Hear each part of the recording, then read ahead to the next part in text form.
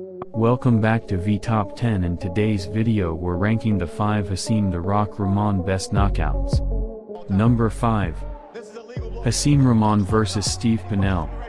On April 21, 1998, defending IBF Intercontinental and USBA heavyweight titles Rahman beat Steve Pannell by knockout at 148 in round 2 of 12 up and lost and knocked out. He's actually knocked down eight times in those. Pannell 33 and 3 coming into this fight. The critics off your back. You have to get in and perform. The only times he's moved up in class, but he feels like he is up for the, the task. He's been sparring with Oliver McCall. Good right hand, both fights. Oh, Pannell is hurt. I thought it was because of his name. Yeah, tell him that. down and Rahman has found the mark. And that just Cuddy Femia watching very closely. One more could just about do it. Try to clear the cobwebs. But uh, Rahman has been... Rahman getting, getting a little bit excited. Now he goes back to the body stairs. Pannell doing anything he can to stay in this fight. Just trying not to get hit, but there was a... Eight, nine, ten. Oh, takes the 10 count. Number 4. Hasim Rahman versus Dicky Ryan. On September 7, 2007, Rahman beat Dicky Ryan by TKO at 041 in round 2 of 10 at Soaring Eagle Casino and Resort Mount Pleasant, Michigan. You down with that jab. Keep it two off and, and set up the punch that knocked out Lennox Lewis. He, and a very big man. You see the size of his arms. Yeah.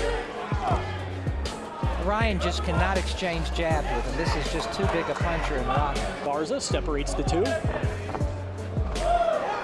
And to Ryan's credit, I mean, he usually left left hooks to the rib cage. And so it'll be interesting to see if Ryan can, can fence and get any body shot coming out. Well, right now he needs to get out of the corner. So Rahman very aggressive right now, landing right and left. Ryan already looking a little wobbly here.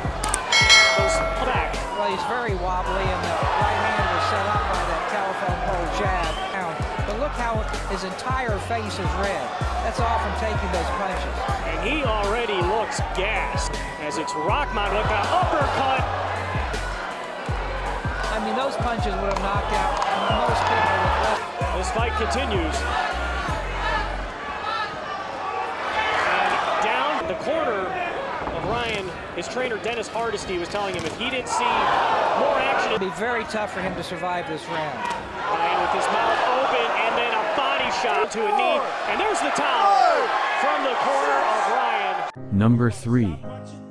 Hasim Rahman vs. Rob Calloway.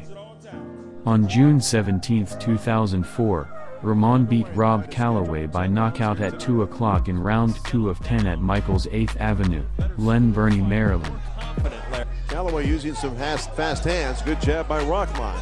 And you know, and blood there. Here is round one winds down in the ballroom. Calloway's going to go downstairs because he perceives Rahman to be a little soft down there. In doing it, because he's going to expose himself. Good jab by Rahman. Oh, crunching right hand. Fight his way into this fight, and Rahman's not going to allow that to happen, so he's going to pick up the pace here. Calloway going to the body of Rahman. Right, Dave. It's oh, oh, the right hand on wobbles Calloway. Calloway's in some trouble. Another pounding shot with the right hand by Rahman and an uppercut. Fight. Yeah, it doesn't have long to go. Minute 20 to go in this round. Rock gamely hanging in. Calloway with the uppercut. Gutty performance by Calloway, Larry. He's really hurt.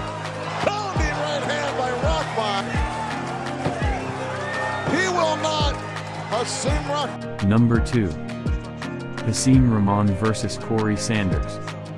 On May 20, 2000, Rahman beat defending WBU heavyweight title Corey Sanders by TKO at 150 in round 7 of 12. Working off the jab. Now he backs Sanders into a corner. Rahman, but there's a hard left hand and obviously softness around the belt. Not much a career. Well, Sanders was so much more extensive than that of Rahman, which to my knowledge didn't have much. Some body punching now. Oh, set up that was it. Made it miss. Sanders tries to finish up with 30 seconds to go in the round and goes down himself. A fighter walk to his corner and go down to his knee to rest. Rahman tries to catch him with the right. This is just going to be an old-fashioned slugfest from here on in.